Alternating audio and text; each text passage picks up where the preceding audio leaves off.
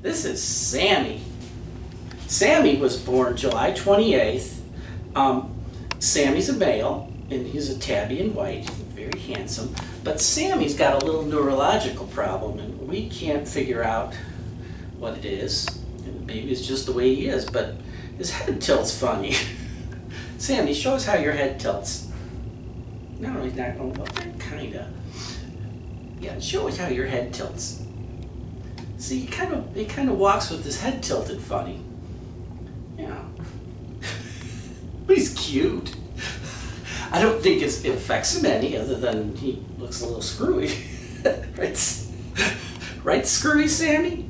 right, yeah. So this is Sammy, and Sammy needs a home with this tilted head. yeah.